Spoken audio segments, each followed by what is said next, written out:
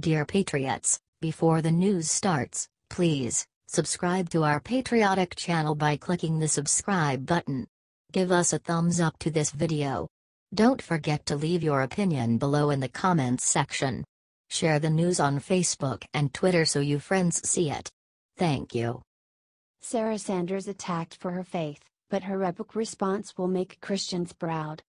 Sarah Huckabee Sanders doesn't care if the media is out to get her.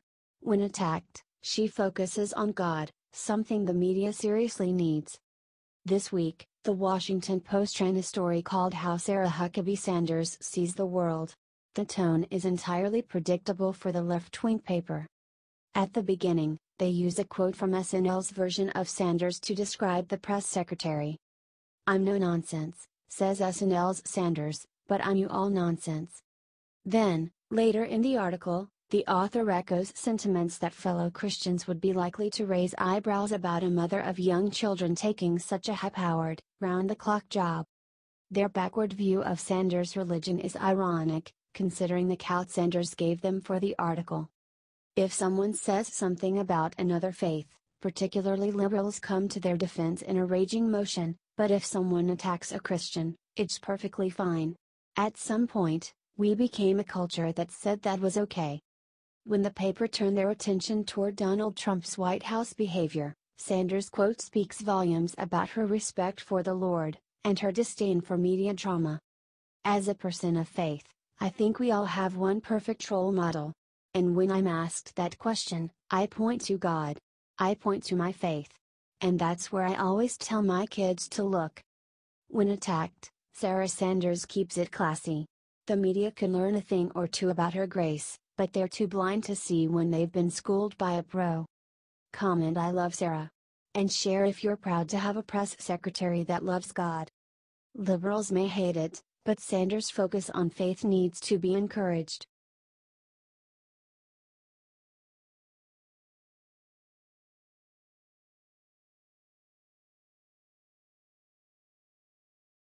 Anthony Bourdain just stripped off Hillary's mask and showed the world who she really is. Hillary Clinton got on CNN Wednesday for an interview with Fareed Zakaria in which she condemned disgraced Hollywood movie exec and Democratic bankroller Harvey Weinstein and vowed to donate the funds he had given her for her political campaigns. She said during the interview, I was appalled. It was something that was just intolerable in every way.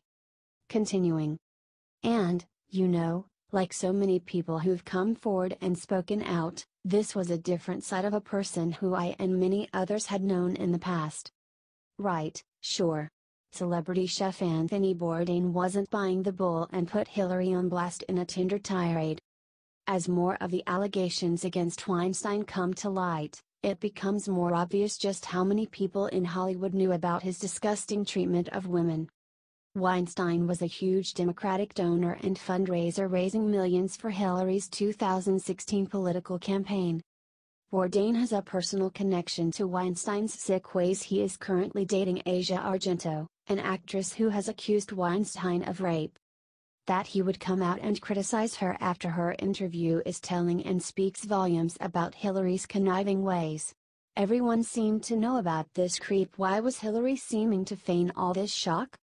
H.T. Washington Examiner.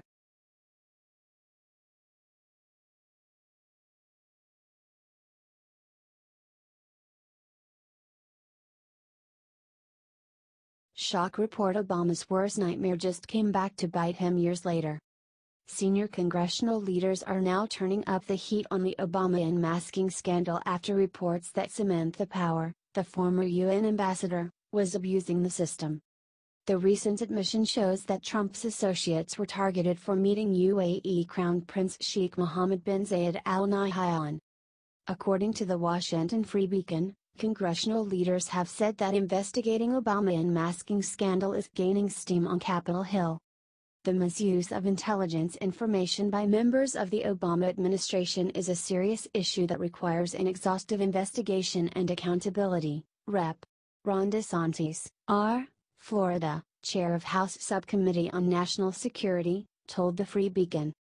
Apparently, The Democrats have dug a deeper hole with themselves as the Russian investigation has found damning evidence about the Obama administration. Congress is determined to follow the facts wherever they may lead us. And, ironically, the most damning revelations of the Russia investigation thus far incriminates the Obama administration, said the official, who was not authorized to speak on record. Susan Rice's admission to widespread unmasking against Trump associates may just be the tip of the iceberg. We are going to get to the bottom of this. Share this if you want them to keep on digging on the Obama administration. Do you think Obama should be tried in court for all his criminal actions as president? Comment below.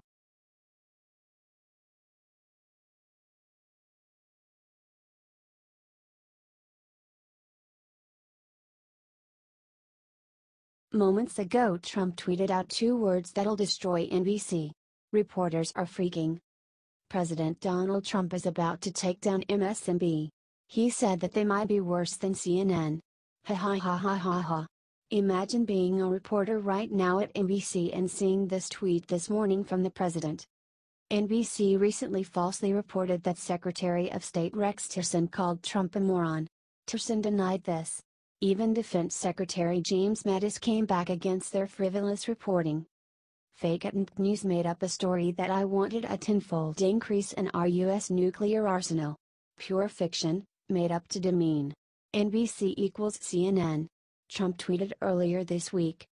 With all of the fake news coming out of NBC and the networks, at what point is it appropriate to challenge their license? Bad for country. He added in another tweet. Ouch. NBC better get their crap together. They are almost as bad as CNN at this point. Or, they are almost as bad as the New York Times. That right there is why nobody can trust the media. They pretend to be unbiased, but they aren't. Share this everywhere if you are tired of the biased media. They need to stop with all the lying.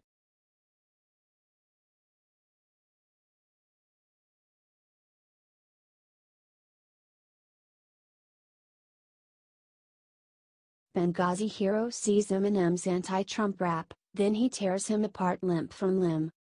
Over the Hill rap star Eminem recently released a video bashing President Trump as hard as possible in a freestyle rap. That was to be expected on some level. Marshall Mathers has never been accused of being a conservative. The crazier part is that M told his Trump supporting fans to F off. No joke. That's literally the last line of the freestyle. Racism is the only thing he's fantastic for because that's how he gets his F in rocks off and he's orange. Yeah, sick Dan. That's why he wants us to disband. Because he cannot withstand the fact we're not afraid of Trump. Walking on eggshells, I came to stomp. That's why he keeps screaming drain the swamp, because he's in quicksand. Now if you're a black athlete, you're a spoiled little brat for trying to use your platform or your stature to try to give those a voice who don't have one. He says you're spitting in the face of its who fought for us, UBS unless you're a POW, who's tortured and battered because to him you're zeros because he don't like his war heroes captured. Saw some posts this morning about the candy rapper M&M rapping his opinion, Will it sway me to disrespect the flag and follow the opinion of the X-49er QB and kneel during the Pledge of Allegiance disrespecting all who served comma dot dot dot wait, no it didn't. If I want advice on how to commit domestic abuse, live in excess, disrespect the masses as well as lessons on ungratefulness I'll listen to M&M and the NFL players.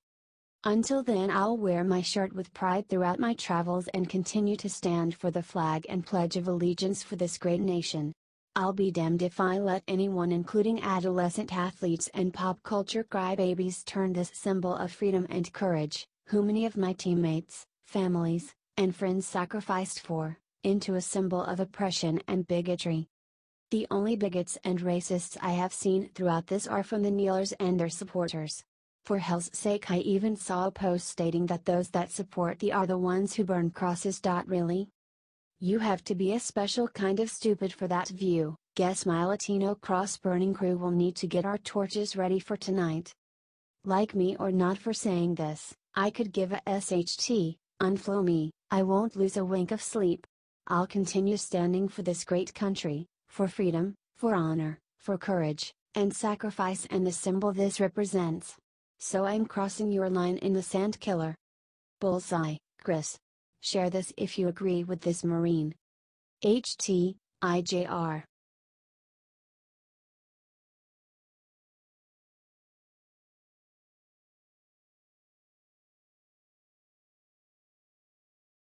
Paul Ryan just got up and said six shocking words that had Congress trembling in fear.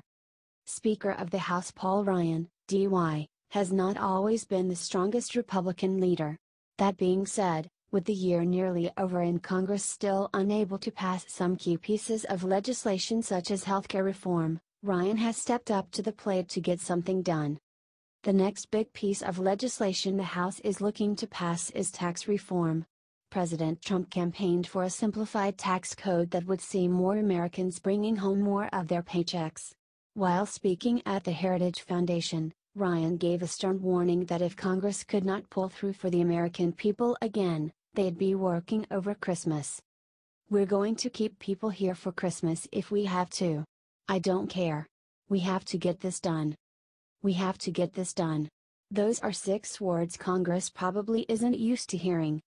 The last time the tax code was overhauled was in 1986. Republicans currently control the legislative and executive branches, creating an ideal situation to enact much needed major reforms. Ideally, Congress won't even have to go into an extended session. According to Ryan, they are actually on track to get the new tax legislation passed and over to the Senate in November.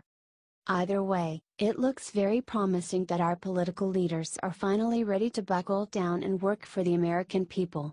We will be covering tax reform very closely so stay tuned. HT Roll Call